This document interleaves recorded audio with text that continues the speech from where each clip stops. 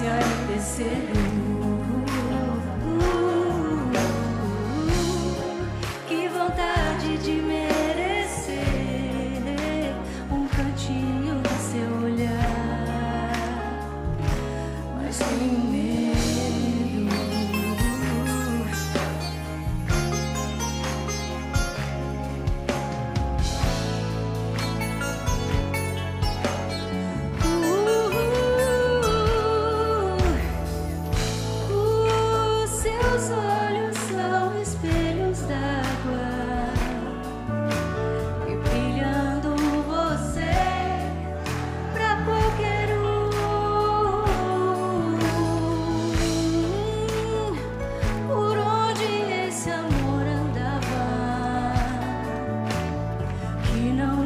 Você de jeito